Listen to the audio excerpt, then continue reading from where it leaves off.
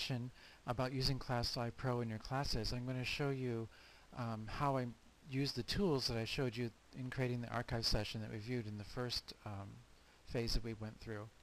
So when using ClassLive, there's many tools available to you, and I'll go to my next slide here. And the first thing you want to do to get started is, is actually a good best practice to actually disable ClassLive before the class session starts. And I have the why listed up for you here, but you don't want students hanging out for a while doing nothing while they're waiting for you to start the class.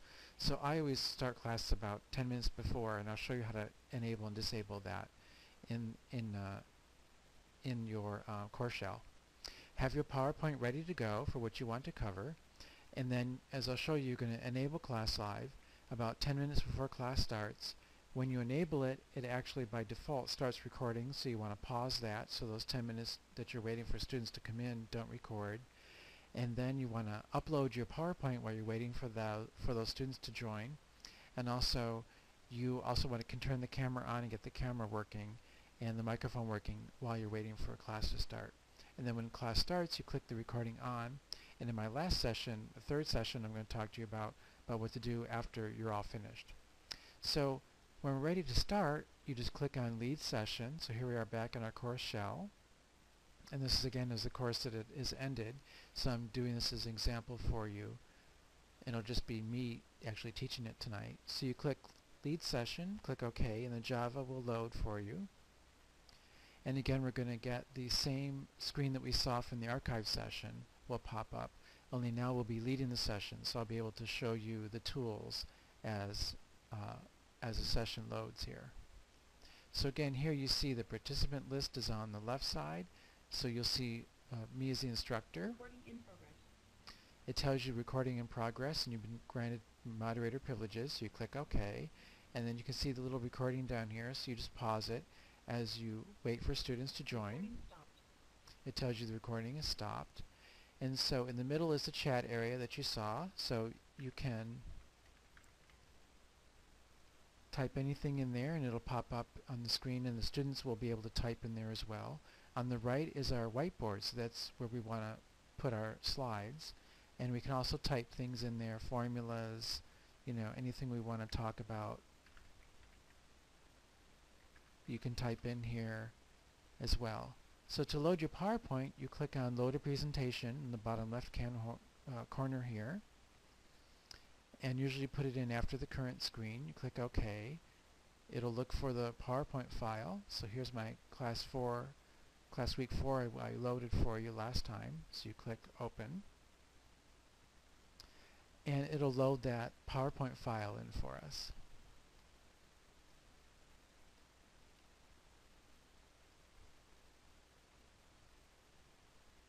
And that takes a few, mom a few moments to load. So this is what you want to do about five minutes before your actual class time starts. Get those PowerPoint slides in there. And you see also on the left here we have the emoticons. So you can have students can give you applause or a down sign if they're feeling that they're confused. Um, they have the green arrow and red check mark for yes or no. Now our slides are in there so you can see that's how I got my slides in there and just like PowerPoint you can shuffle through them. So the polling you can actually go to tools and there are lots of things here you can do but just polling you can do multiple choice A B C D and that's where they start to vote for you as you saw in there. You go up to this little bar graph and you can publish those out so that can be published out for the students to see and that's what you saw in my archive session. You turn the camera on by clicking on the little eye here show the video window and you can preview it by clicking there and say hi. Click transmit and the students will see it. Students like to see you and your reactions. So you have all these tools available on the whiteboard and to do application sharing you click on this thing that says share selected applications, a little yellow triangle and you can click on your Microsoft Office, click OK and then you get your Excel sheet. So on the Excel you can type in your numbers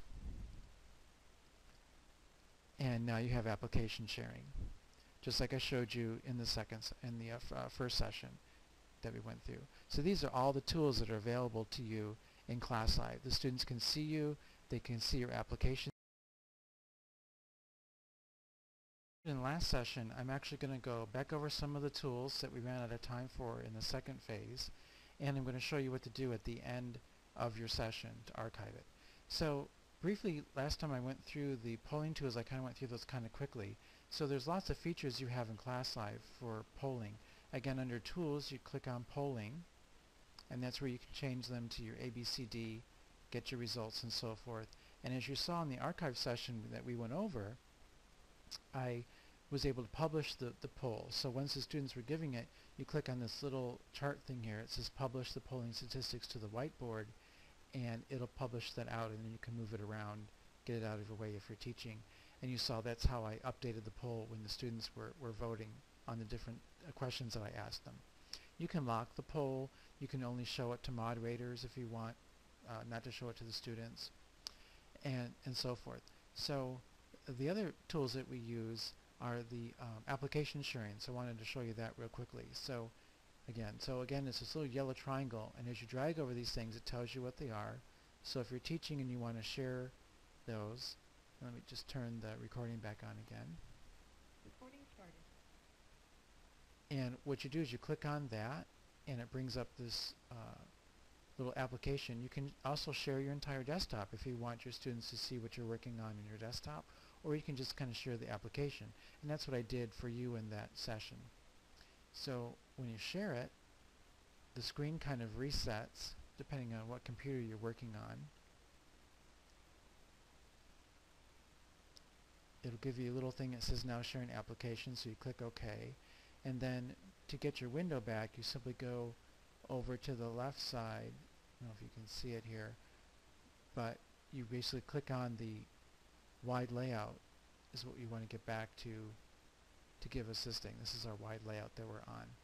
And then when I'm working in Excel, now you can see it, you can type in here and whatever you type in will be captured and the students can see it. That's what I was doing in that session. And so you can show them any type of software that you like uh, that you want to use in your teaching, uh, teaching environment. And to stop that, you just click Um, on the stop sharing so up in the corner and then it'll stop sharing. It actually will tell you as well that you stop sharing. It goes back to the regular regular point there.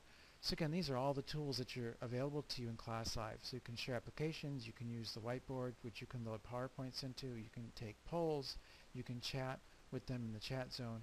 What's nice is when you're teaching, if you have 15 or 20 students, what I do is I turn the microphones off for the students, and they don't have to have video either, but they can have video as well.